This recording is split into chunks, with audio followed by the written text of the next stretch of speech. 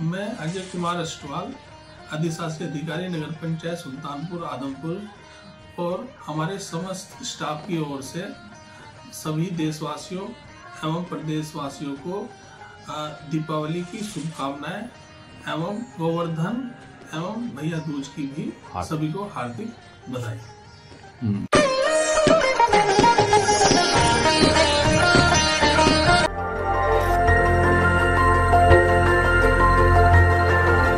देखते रहिए डीबी भारती समाचार नज़र हर खबर पर।